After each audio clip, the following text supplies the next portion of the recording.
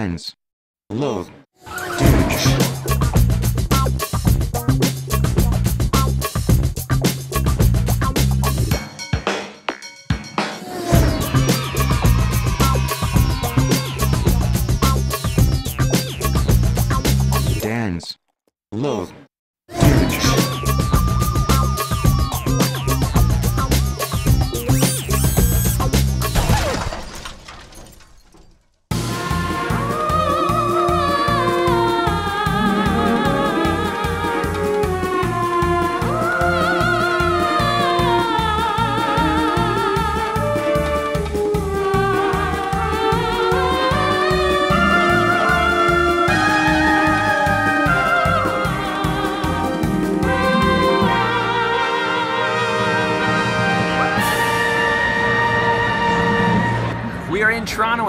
Expo. Lots of crazy stuff here. Whoa!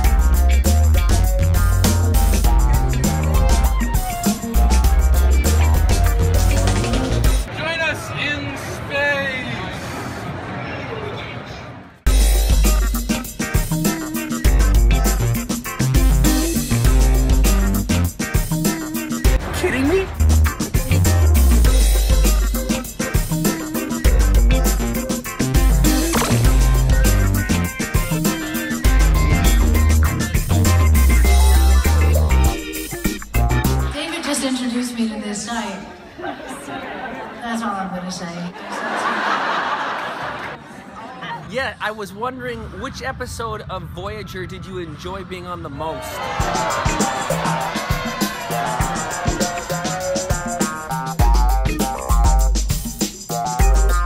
Never in my life have I seen more men doing their makeup.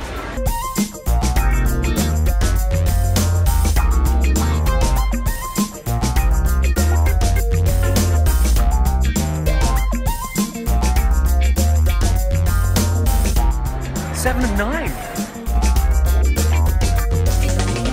Did you see her talk? Yeah, I, I went to uh, her photo shoot, photo op. Yeah.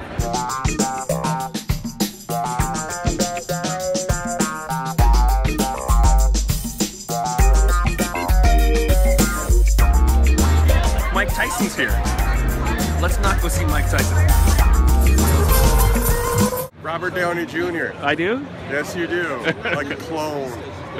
Let me see that picture you took. Right there. So you're gonna show your friends and tell them you saw it? Absolutely. That he wasn't he wasn't signing here, he was just here for the con.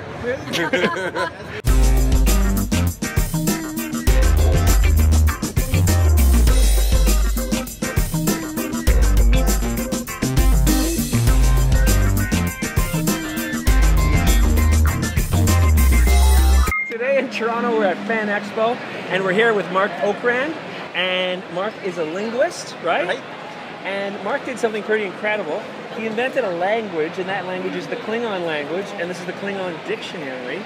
This happened uh, in conjunction with Star Trek III which is the first time I worked on Klingon, and that was back in 1984. The chicken or the egg, the, the, the Klingon came first, and you made the language after? The Klingons came first. Yeah, the Klingons were the original TV series, but they never spoke their own language. We Right. know we know they had one. But in the very first movie, Star Trek: The Motion Picture, the very beginning of the film is Klingons. There's, those words, those lines were made up by Jimmy Doohan, the actor who played Scotty. He made them up. And he just made up phonetic words. He made up phonetic words. Yeah. And then you saw this and thought someone should make this a real language. No, I, they, well, Paramount thought someone should make this a real language. I got a call from Paramount, and they said, We're making Star Trek 3. The villains are going to be the Klingons. And he said, I checked around. No one seems to be in charge of the Klingon language. You want to do that? So That's not an easy that. job to. So is it like so in depth that you can speak Klingon? Yeah, there's people all over the world who speak Klingon now. They carry on conversations. They translate things into Klingon. Shakespeare's been translated. into That's right. I, Hamlet, right? Hamlet, Much Ado About Nothing. And you wrote and you created this. I created the language. I didn't do the translation. Other No, but you created the language. Yeah, yeah. That's Yeah. that's intense. That's amazing. Pag takbe. Nagmuklek van mijn kermis. Kufa, yablak san vakcha, puk jasekde. What does that mean? Honor. That's Honor. very important. One more time. Bak. Bak. That's not bad. It's Not wrong, bad. but it's not bad. It's wrong. What's Qapla'? Qapla'. Qapla'. Qapla'. Qapla' means success. Yeah. All right, Klingons, pencils down. Okay, I have Pach. Have it. Pach. Yep. Have it. Puchpa. Have it. I have Chor. Got it. Nechmach. Yeah. And Kreplach. Because I was sitting in my office at work, right? And I had TV on. It was at night, and I just happened to glance up, and it was on the station that's showing Big Bang Theory. The opening shot is this dictionary, and then it backs up, and they're playing. Oh, yeah, yeah, They're that's- playing Klingon Boggle. Penny comes in from across the hall, and she wants to watch TV because her cable doesn't work or something. And they say, okay, okay, but we're very, very busy, so you can watch it, but turn the sound off and watch the closed captions. Okay? My job for 34 years was closed captioning. I said, this is the Marc Okrand episode. What are they doing here? You signed my book, right? And I can't read it. You have to look it up. It's all, does- in there. oh. It's all, all on different pages. So you're not gonna tell It's- us? It's not all in one place. You're not gonna tell us? No, you have to do it. yeah. Well, you heard it here on Dan. Sp- hey, how do you say Dan's Space Van? Dan Spaceman would be would be Dan Lochduge. Loch is space. Duge is any kind of vehicle. Loch du.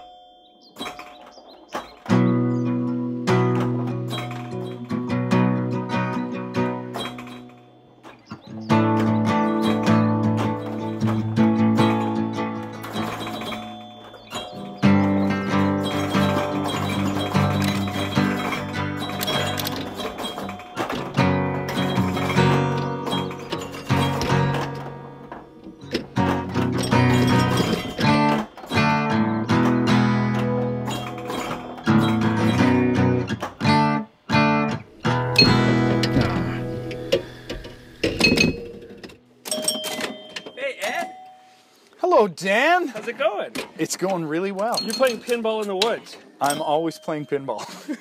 I was hoping we go in, in the boat for a ride. I'm playing pinball. So, oh shit, You that was your that was your fault. so Ed, I was at your house before. You had two pinball machines in the basement. Uh, this is Jungle Queen, 1977 from Gottlieb, uh, kind of the undisputed king of the electromechanical pinball machine. Objective of this game is kill all the monkeys. And who doesn't like monkey killing? Kick-ass rock band, kick-ass pinball machine. This is a modern game by Stern. This game is amazing. Then I came back and you had four. Metallica pinball machine. Not my favorite band, yet my favorite pinball machine. Star Trek limited edition pinball machine. This machine, uh, as you can see from the playfield, full RGB lighting. So uh, every uh, insert, these things are called inserts, can change according to the mode of the game. This machine is beautiful, it's fast, and it's really deep in terms of code. There's a ton of things to do. I haven't even seen half of it yet. Then I came back and he had like eight. Bram Stoker's Dracula. Tom Waits is not only on the back glass, but on the playfield several times. What's cooler than Tom Waits on your pinball machine? Mist Multiball, check it out! Oh, look how badass that is! America's Most Haunted from Spooky Pinball. They made 150 of these things in a garage in Benton, Wisconsin. Bride of Pinbot, a Python Anghelo design. But look closer, pinball enthusiasts, for this is a Bride of Pinbot 2.0. The Walking Dead, another modern machine by Stern Pinball. This is an adrenaline filled, amazing ride of a machine. I never thought I would be so into zombies. My precious. It took me 10 years to beat this machine and make it to Valinor. Bounty Hunter, 1985, Gottlieb Premier. Horrible and yet awesome. And it's probably the best $400 I ever spent. Ed, you have a pinball problem, you know that. It used to be all incandescent lighting. I replaced it with LED lighting, which really suits the theme of this machine. You took LED. out every light bulb in this machine and replaced it with LEDs. Yes. Uh, and if you see this wrap lighting around the ramps, that's another mod that I purchased and installed. This machine is more heavily modded than I normally mod a machine. Have you ever? Do you mod your car? No, I don't give a shit about cars, but I am crazy for pinball. Well, you but you don't love the space van. I said cars. Dave. I want you to do the same face Jeff Bridges is doing up there. Wait. And now I've driven all the way up five hours to your cottage so that we can go on the lake, and you won't go on the lake because you have more pinball machines than you're playing. This is a new acquisition. I'm, Hold on, I'm, I'm not excited done. about I'm it. not done. Then I noticed your album just came out. Oh, what's that on the front? A pinball machine, right? And that song, you have a song on here. Yeah. What's it called? It's called Silver Ball. What's it about? It's about pinball. roll around and I stare sound. So my next question, Ed, is: Do you remember the actual moment that you lost your mind? Oh, I just tilted the machine too. Ah, does it bother you when I do this? It bothers me when you touch my machine. So you fancy yourself a pretty good uh, pinball player? I'm not What's bad. it called, a pinballer? What are a pinballist? Uh, you know what? I don't know. A silver ball aficionado? Well, Dan Spaceman has come all the way here to challenge Big Balls here. I've come here to challenge you on Dan's Space Van to a pinball challenge that I have never seen anyone do. Do you know what this is? That's a power inverter. That's right. This plugs into a cigarette lighter in a car. You still call it a cigarette lighter. What do you call it? It's like a it's a power port or something. Oh, well, in my van, it's a cigarette lighter. You're right. In the space van, it's for smokes. now, my challenge is let's see how good you are at pinball in a moving vehicle. All right, I'm up for it.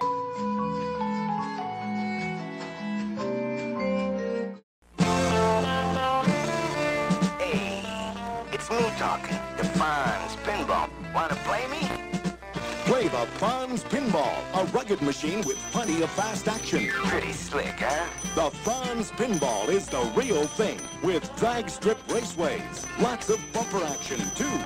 Watch those independent action flippers. Perfect. Bells, lights, real scoring. The Fonz Pinball Machine. Hey. By Coleco.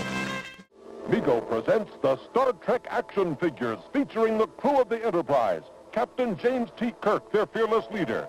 Dr. Bones McCoy, caring for the health of the Enterprise crew. Scotty, the chief engineer, in charge of the transporter room. Mr. Spock, the Vulcan, second in command. And the Klingon, enemy of the Star Trek crew. Star Trek action figures, complete with accessories shown. each sold separately from Mego.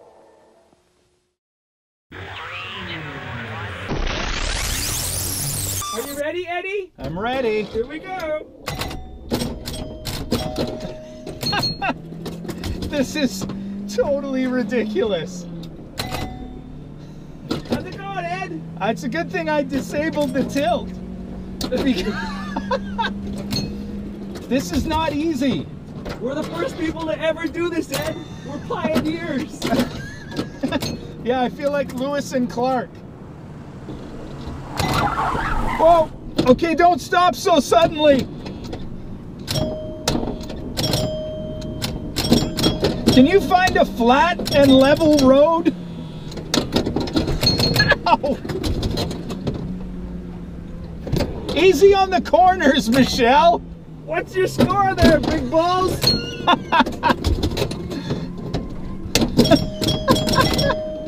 Oh my god.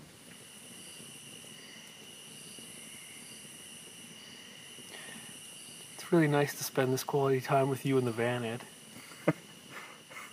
I think it's awesome that the van is at the campfire. Yeah. This is a beautiful space here. Thank you. You know, I've written uh, I've written every song since uh, '98 here. Really? This is where I come to write every year. I usually come up in the winter time and I sit in that front window and stare out at the lake and this is where I've written everything. Wonderful. I wrote the theme for the Big Bang Theory in the shower here. Really? Yeah. You should play that right now. A, a, a country and western campfire version. Our whole universe was in a hot, dense state. Nearly 14 billion years ago, expansion started. Wait. The earth began to cool, the autotrophs began to drool, Neanderthals developed tools, we built a wall, we built the pyramids. Math, science, history, unraveling the mystery that all started with the Big Bang. Beautiful. That must be fun to be at that song and have that song on the show. Uh, It's great. I just made up a song about um, cosmological theory. Um, My favorite part of the story is that Stephen Hawking read your song. Yeah, Stephen Hawking Quoted it. quoted it, Oh, amazing. which was ridiculous. That's insane. He said, Many people find the universe hard to understand. It's not. In fact, it can be summed up with these 14 words. Our whole universe was in a hot. And then he quoted the first stanza of the song, which was incredible. Wow. Uh, and uh, I immediately wrote an email to Simon Singh, who wrote the book. And I said, dude, like, because I read your book, which I loved, I made up this silly song. Because I did that, these guys who were developing a show called Big Bang Yeah. contacted me to write the theme song. Because I wrote this theme song uh, and was involved with this show, um, Stephen Hawking ended up quoting my song. You know, Oh, hi. that's that's how it is. That's it is. He wants to be on the Stan Spaceman. What's that? There's a Hubble. That, there's that let's- kids okay, movie Hubble. Okay, enough about you. I want to interview your dog. so, why? What's your name? That's what he does when he wants you to pet him. Oh, He incessantly humps my friend Walt's leg. I saw him doing that. He Yeah. was really into it. I call this the paint shaker. you think he likes it? He likes all touch. I don't. I rarely see this look on his face, but he looks a bit humiliated right now. Yeah, he's on Dan's space Spaceman getting a paint shaker. Otis, did you ever think you'd be on Dan's Space, Dan's Space Van getting a paint shaker? well, I, yeah, I did. That's been my life dream. Oh, okay. Well, Ed, this has been a good time, but I'm gonna climb in the van and hit the sack. Okay? Yeah. Uh, I'll be right there. I'm just gonna brush my teeth. All right. I'll see you in a minute.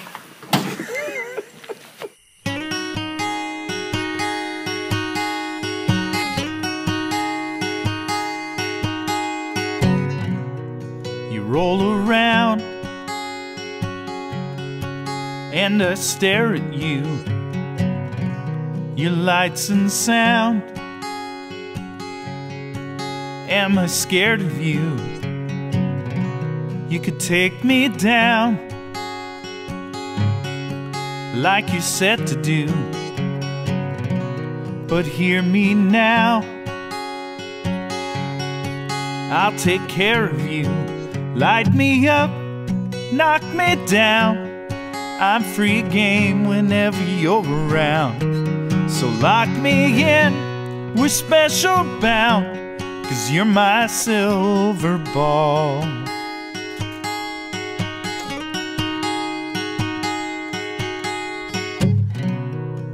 Had it all. There and back again. I destroyed the ring. On the attack again. The multi ball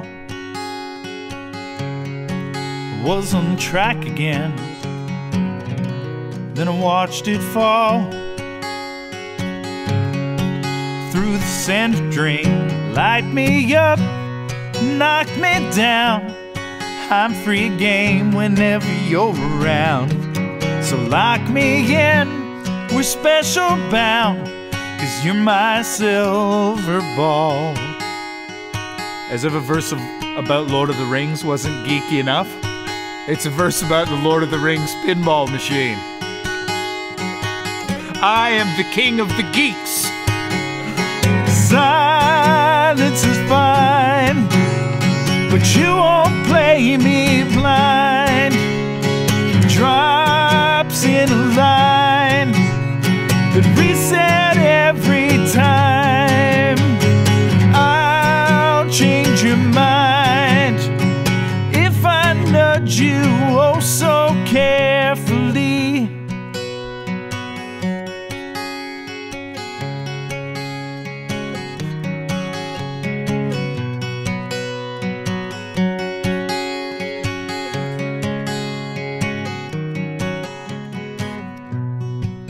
Setting up,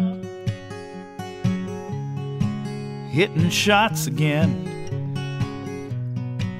getting tough, making locks again. If you've seen one, then they're all the same. Just shoot the lights and avoid our lanes. Light me up, knock me down. I'm free game whenever you're around. So lock me in, we're special bound. Cause you're my silver ball. Light me up and knock me down. Free game whenever you're around. So lock me in, we're special bound. You're my silver ball.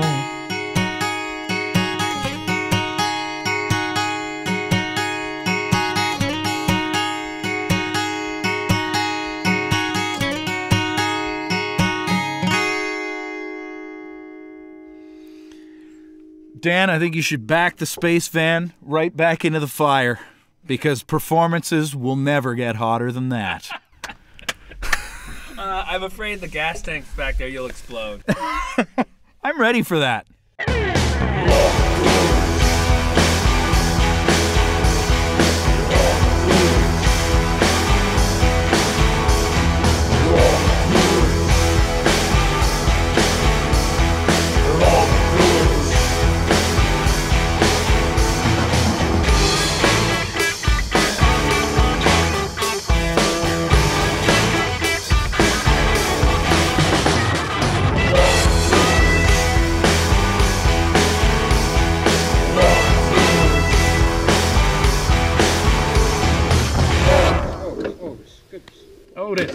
He really likes you.